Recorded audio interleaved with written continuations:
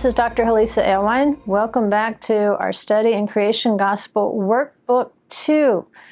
We have worked our way through the seven abominations of the wicked lamp, and now we've worked through the seven seals up to the sixth seal. And we're, we're camping out here for a little bit to study the four winds because in the sixth seal we see how the four winds are, uh, the four angels are holding back the four winds of the earth. And we related that in the last program as to the, how the encampments of the 12 tribes and their four divisions, there was a relationship there, even between how it looked on earth and then the reality of these 12 angels and these four divisions around the throne in the heavenlies. And where we left off in the last program, we, we were quoting from the prophet Hosea, who prophesies of a time when the lion of Judah will roar from the east. Remember, Judah always took the first steps. No matter which direction the camp went, it was always going to be Judah taking the first steps. In Revelation, Yeshua is described as the lion of the tribe of Judah. He's the one who's going to roar and to begin to, to get the rest of the tribes to kind of snap to. Get packed up, it's time to move. Remember, as you encamp, so shall your journey be. So these 12 tribes have been scattered out there to the four winds. It's not going to be that easy to just stay in your lane. Uh, how that's going to happen remains to be seen. But this will be an even greater miracle than what we see in the wilderness, where you've just got a big collection of people. It would be fairly easy to organize them into their camps and their divisions. But now the Israelites are scattered out to the 12 tribes. It's going to take King Messiah to get these tribes sorted out. But it says that, that Judah, he, he's going to roar like a lion to get everybody started, to take those steps. It says Ephraim will come trembling from the west. Now, Yeshua helps us with this he helps us to understand beyond the 12 baskets full of the fragments of bread. He's going to get on the Sea of Galilee and he's going to demonstrate to his 12 disciples what their role is. And uh, it's, it's going to be part of, of the Galilee. It's actually not a, a sea of Galilee, but remember, seas represent the nations in scripture. So saying the Sea of Galilee, it fits very well with the nickname of the area of the Galilee, which is called Galilee of the Nations. It was kind of an intersection of where the nations went through as they traveled for trade and so forth. So saying Galilee of the Nations, first century people understood that. Uh, at any rate, Yeshua is going to get into a boat on the Galilee with his disciples. So let's read Mark 4 35 through 41. It says, On the same day, when evening had come, he said to them, Let us cross over to the other side. Let us cross over to the other side. Remember, when you cross over, you're being a Hebrew. A Hebrew is one who has crossed over. It says, Now when they had left the multitude, they took him along in the boat as he was, and other little boats were also with him. And a great windstorm arose, and the waves beat into the boat so that it was already filling. But he was in the stern, asleep on a pillow. And they awoke him and said to him, Teacher, do you not care that we are perishing? Then he arose and rebuked the wind and said to the sea, Peace, be still. The wind ceased and there was great calm. But he said to them, Why are you so fearful? How is it that you have no faith? And they feared exceedingly. They trembled like Ephraim coming from the west. They feared exceedingly and said to one another, Who can this be that even the wind and the sea obey him? Well, remember, our four winds, they cover the four corners of the earth, we have the seas that represent the nations. So even the winds the spirits of Adonai that move around the world, and the sea, the nations will obey him. But Yeshua is asleep in the boat. When the great windstorm arises, he still has not been aroused from his dormant state.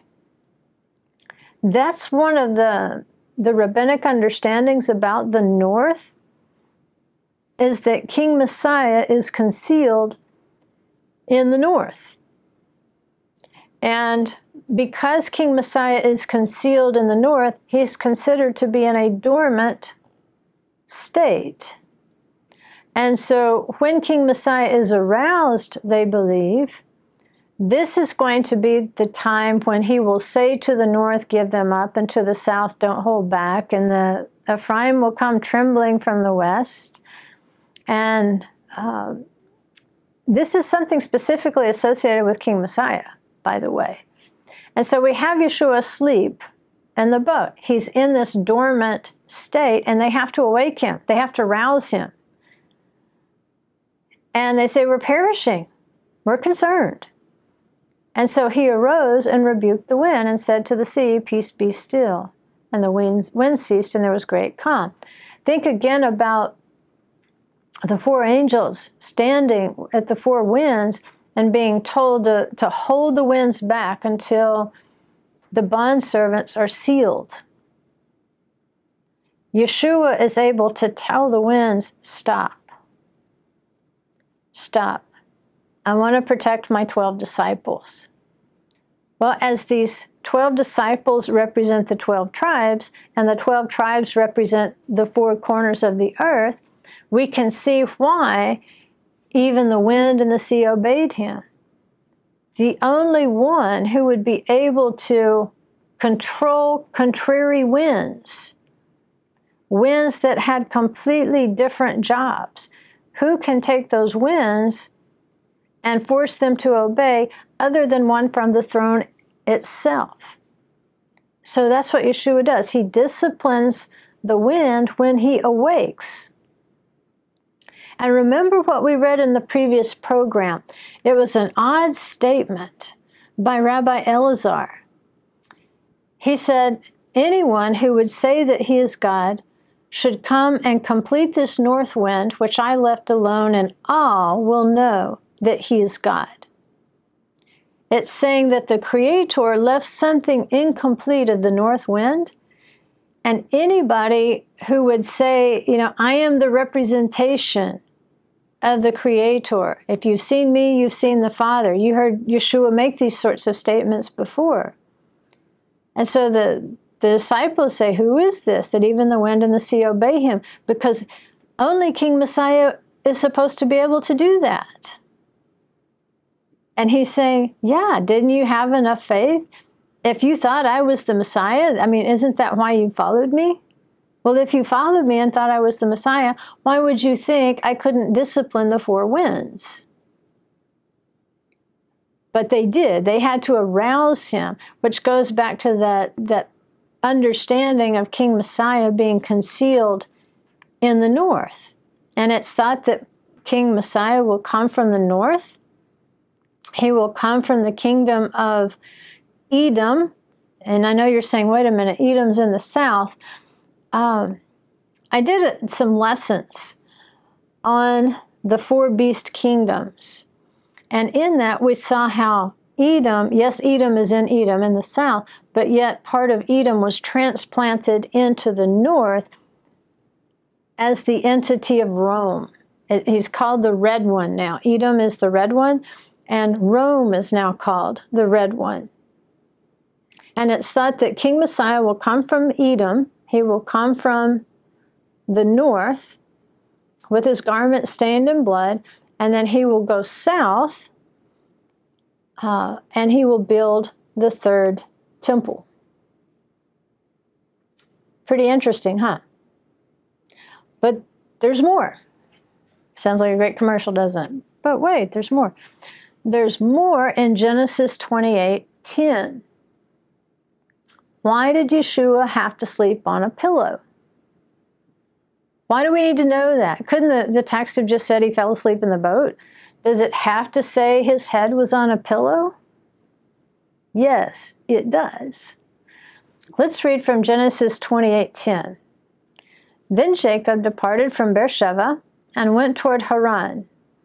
And he happened upon, by the way, Haran is going to be north. He happened upon a particular place and spent the night there because the sun had set. Isn't that what Yeshua did? He gets into the boat and the sun sets. He took one of the stones of the place and made it a support for his head and lay down in that place. And he had a dream, and behold, a ladder was set up on the earth with its top reaching to the heaven. And behold, the angels of God were ascending and descending on it. I wonder if those are the four angels. Ascending and descending, in other words, adjusting. Then behold, the Lord was standing above it and said, I am the Lord, the God of your father Abraham and the God of Isaac. The land on which you lie I will give to you and your descendants. Your descendants will also be like the dust of the earth, and you will spread out to the west and to the east and to the north and to the south. Our four winds, our four directions. And in you and your descendants shall all the families of the earth be blessed. Behold, I am with you and will keep you wherever you go, and will bring you back to this land. For I will not leave you until I have done what I have promised you. Then Jacob awoke from his sleep and said, The Lord is certainly in this place, and I did not know it. Pretty much what the disciples said. When they awoke Yeshua from his sleep, he, he takes authority over the winds and they said, Who is this? That even the wind and the sea obey him. Well, this is what Jacob says The Lord is certainly in this place, and I didn't know it. I wasn't aware of it. I had to be aroused from my sleep uh, to, to get a sense of where I was. So the promise here to Jacob was that his descendants would spread out to it would spread out west, east, north, and south, the four directions, the four faces of the wind. His 12 tribes, his family would be spread out like that. And then it says in verse 18 So Jacob got up early in the morning and took the stone that he had placed as a support for his head and set it up as a memorial stone and poured oil on its top. That's significant the the oil that he pours on its top. Remember, a Messiah, a Mashiach, it comes from Mashach, which means to pour oil, to anoint with oil. We know Yeshua is the stone. And so Jacob pours oil on the stone. He anoints the Mashiach. He, it's a prophecy there a prophecy where he's told that his descendants, the 12 tribes, will spread out to the four directions of the earth. And where it says he was asleep, uh, the King James is more exact about saying he was in the hind part of the ship, asleep on a pillow. But when we look up that Greek word there for pillow, uh, it's a compound of two Greek words, the main one being uh, G2776. And they've matched it into the Septuagint from its Hebrew cognate. Its Hebrew cognate is Rosh, for head. It's a pillow, place you put your head. Well, if we go back into the Hebrew text where it says, uh, Jacob took the stone that he had placed as a support for his head and set it up as a memorial stone and poured oil on its top. The Hebrew word used there for the pillow is uh, maroshtav. It's, it's the means of putting your head somewhere. That's the word for pillow. It's rosh too. And where did he pour the oil on the stone? It says rosha, on its head. So, twice in that verse, we get the word Rosh. And then when we see Yeshua asleep, his head is on the rosh, it's on the pillow.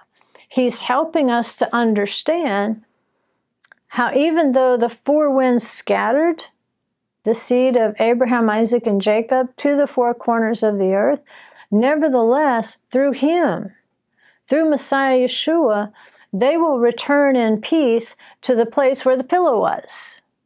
The place where the pillow was was Beit El, the house of God.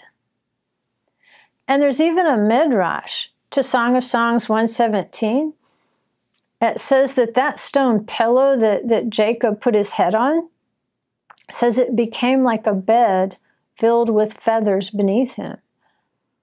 And in the Song of Songs, that verse says that our bed is full of vigor. And that's taken to mean that Yeshua, again, is the one who's going to be able to draw back in Jacob's descendants. He's going to fill it with vigor. He's going to fulfill with resurrection power this promise to recall the, the 12 tribes who were scattered to the four corners of the earth. And now, this pillow bed, this pillow full of feathers, it's going to begin to produce fruits. Jacob is on his way to find a wife. And he's going to marry, and he's going to produce 12 sons who produce the 12 tribes, which again recalls the 12 fruits for every month in the holy city of the Lamb. And so, with this pillow or this bed pillow, we get the idea that yes, Jacob is on his way north. He's going to be hidden in the north for a while, just like King Messiah. But, you know, in this dark place of concealment, somehow he's going to multiply. He's going to be fruitful. And uh, I, I found a, a little blurb in the Midrash talking about the feathers from this soft pillow bed it says, and, a midrash, you're not supposed to take it literally, by the way. It's a teaching tool to help you process something. It says, this soft pillow bed became cedar and cypress from Song of Songs 117, where it says, The beams of our houses are cedars, our panels, cypresses. Where Jacob is going is north. He's traveling north across Lebanon, that is known for its cypresses and cedars. He's going to go to the north. He's going to father 13 children, 12 sons for 12 tribes. And the Midrash says that these cypresses and cedars that it's talking about are righteous men and women, prophets and prophetesses who arose from Jacob's 12 tribes and they are called the cedars and the cypresses of the house, the house being the temple. So they are kind of like the bones of the temple, the righteous men and women, the descendants of Jacob. And the cypresses and the cedars of Lebanon, which is where they sourced the wood for the temple. Remember King Solomon? He made a deal with King Hiram. Well, the cedars and the cypresses, they became the bones of the house, of the temple they have a country cousin. These, these magnificent cypresses and cedars of Lebanon in the north. In the south, out in the Midbar, where they built the Mishkan, the tabernacle, they used acacia wood in the Midbar. It's a much smaller country cousin to the cypresses and cedars, but they're all in the same family. So, the same way that the, the lowly acacia was part of the bones of the Mishkan, in the same way, the, the, the mighty prophets and prophetesses of Israel are going to become part of the bones of the house in this prophecy. Um, and just like we found out in the wilderness, obedience can bring peace to the four winds but rebellion, it can bring bewilderment, it can bring chaos, it can bring misdirection. Misdirection. So we're learning a lot about the four winds. We're learning more about prophecy as it concerns Jacob and his, his 12 tribes. We're learning more about Yeshua as it concerns how he interacts with his 12 disciples. Um, still, we're looking back at those four angels who are holding back the four winds. I want to give you a, a, at least one more example of how this divine machine works, where Israel's supposed to obey its covenant and be in a close relationship with the Holy One, and then that in turn brings blessing to the faces, to the directions assigned to them. So in the Gemara, Taanit 3b, it says, Are they not withheld? And he will close up the heavens. And this is a commentary on Deuteronomy 11 17. They say this means that God will stop up the heavens from the clouds and the winds. Do you say that close up the heavens means from the clouds and from the winds? Or perhaps it is only referring to the absence of rainfall? when the same verse says, so that there will be no rain. And remember, this is being prophesied in Deuteronomy 11 17 as a consequence for breaking the covenant. There will be no rain. He says, so that there will be no rain. Rain is already mentioned explicitly. How then do I uphold the meaning of the verse and he will close up the heavens? It's like two different things. He says this must mean he'll close up the heavens from the clouds and from the winds. So again, the clouds are part of that divine machine. The clouds of glory surrounding the throne, they interact with the camp of Israel. And they work, they're, they're primed, the clouds are primed with obedience. And this is how Israel is to be a light to the nations. This blessing can fall on the nations. They can be that light to the nations, and the nations will become very concerned with what the tribes are doing. The nations will need the tribes to remain in good covenant relationship with heaven. Ultimately, disobedience causes heaven to close off the clouds of blessing. Obedience releases them. Disobedience will put the, the four winds into chaos. But obedience will bring peace. So,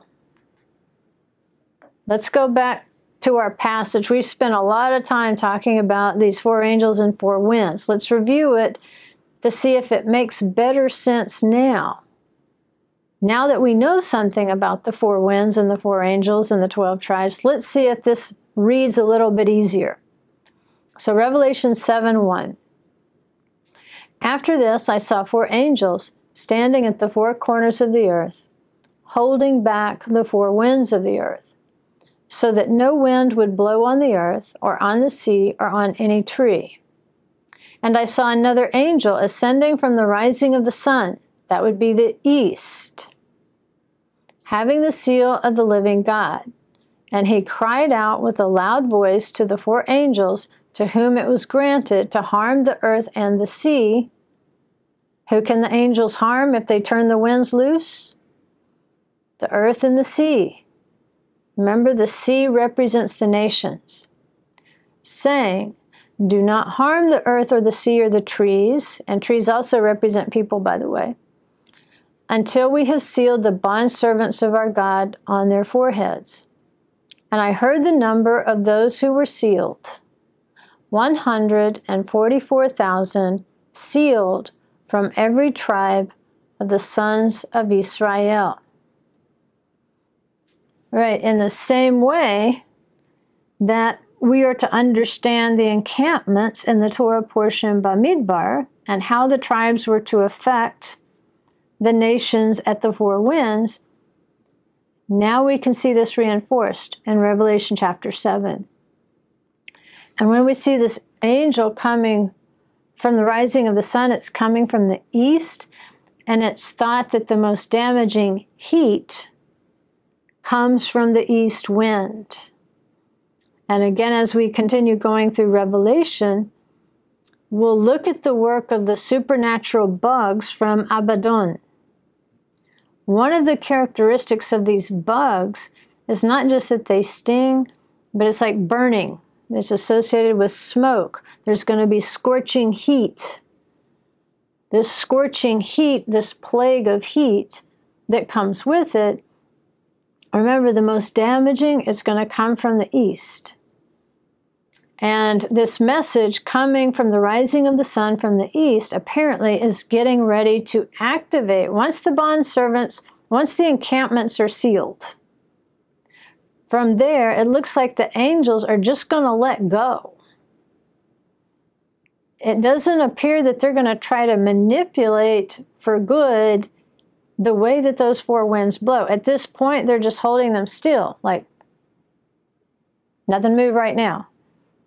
Well, once they let them go, it seems like there's no attempt to even move them in a in a way that's not harmful. It's just like they completely let them go at the same time, which we know if you let all four winds blow at the same time, if there is no prevailing winds, if there's just four winds, not necessarily competing, but just randomly interacting with one another, you're creating the most horrific weather event of all time. In fact, uh, as it concerns these four angels, the sages believe that these four angels are also assigned to the four kingdoms. You say, which four kingdoms? If you'll remember, there's four kingdoms of the beast that Daniel sees and that John sees. They have that in common. The four beast kingdoms are Babylon, which had the golden head. He's also represented by a lion. You have Persia Media, uh, which is the silver kind of chest area of the beast. Um, that's going to be represented, I believe, by a bear. Then you have Greece, which is more of this bronze uh, lower torso. That's represented by the leopard. And then the legs, the iron legs, are Rome. Those are the four primary beast kingdoms.